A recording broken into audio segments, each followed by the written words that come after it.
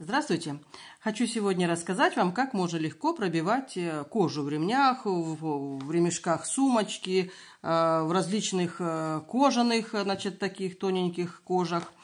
Значит, у меня уже было видео, где я пробивала в ремне дырки. Вот у меня тут мои многострадальные ремни, которые я тут, видите, какие красивые набила.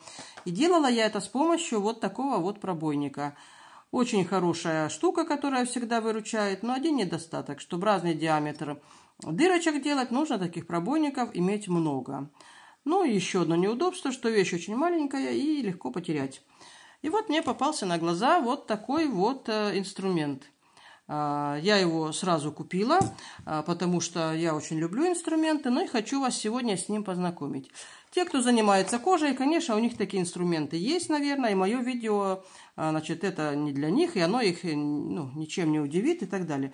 Но кто решил заниматься, значит, кожей, делать э, кошельки, ремни, браслеты. Э, значит, мое видео будет для вас интересным, потому что э, без вот этого вот инструмента вам будет не обойтись.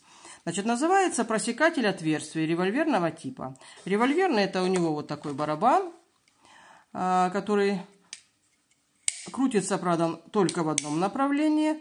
Я пыталась во вторую сторону не крутится. Значит, здесь есть ограничитель вот так, видите, а, маленькая дуга получается у нас. А, здесь мы его отгибаем, и у нас вот получается такой вот хороший захват. Значит, здесь у нас всего получается от 2 до 4,5 миллиметров дырочки. Вот такие вот отверстия. Ну, давайте не будем долго разговаривать, я вам покажу, как этот инструмент работает. Вот уже кожаный ремень, достаточно, смотрите, он ну, толстый. Ну, тут наша задача, вот эти три, две дырки я пробивала на прошлом мастер-классе, вот этим вот пробойником показывала, как это прекрасно делается. Вот, а теперь мы давайте сделаем, ну, давайте вот здесь мы сделаем очередную дырку. Это на то, что, как говорится, ремень на похудение, мы укорачиваем его.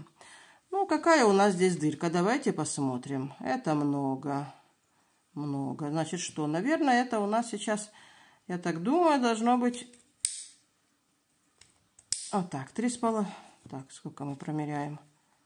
Да, наверное, будет три с половиной. Значит, мы должны э, то деление, которое мы с вами намерили, подвести вот под эту вот биту. Вот. Теперь мы прикладываем наш ремень. Находим намеченное наше место. И вот тут я берусь за кончики и хорошенечко сжимаю. Ох, какую здоровую дырку я сделала. Значит, здесь не 3,5, а 3. Вот, видите, какая ровная, аккуратная. Значит, как извлекается э, кожа, которая находится теперь вот э, у нас здесь. Вот такую штучку я себе согнула из проволоки. И смотрите, э, вот эти вот штырьки находятся одно напротив другого. Раз, и вы, вытолкнулась вот эта вот кожа. Вот смотрите, какой толщины наш ремень. Теперь давайте возьмем ремень чуть-чуть потолще. Вот он, ремень. Тут он двойной, а, и там еще какая-то прослойка идет. Я когда делала в прошлый раз дырки, я смотрела. Значит, ну, раз мы постановили, что 3,5 много, давайте возьмем 3. Намечаем нашу очередную дырочку. Вот здесь мы ее и сделаем.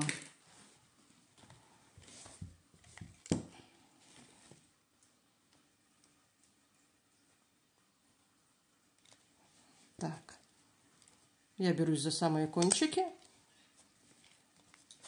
И смотрите, толстый ремень прокололся вообще без проблем.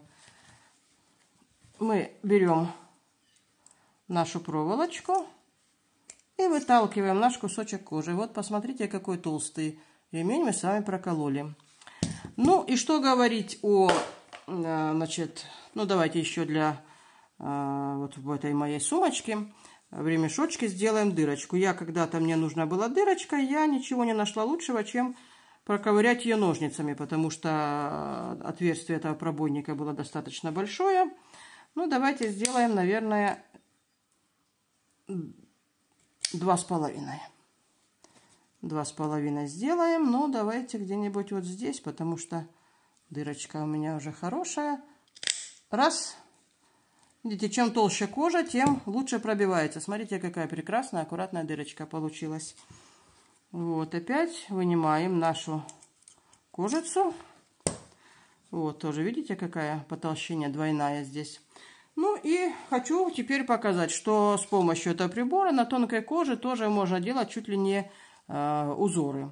Но, значит, я вам покажу, смотрите, ну давайте два с половиной, так мы и сделаем эту кожу оно легко, конечно, кусает, но э, надо покрутить предварительно, чтобы вынималось. Э. Вот видите, очень легко, красиво делает. Так, вынимаем наши кожаные штучки.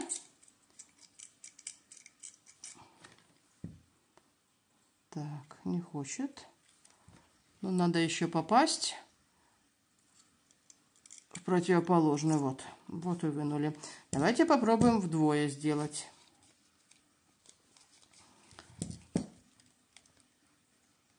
Берем вдвое. Без вопросов. Давайте попробуем сделать в четверо.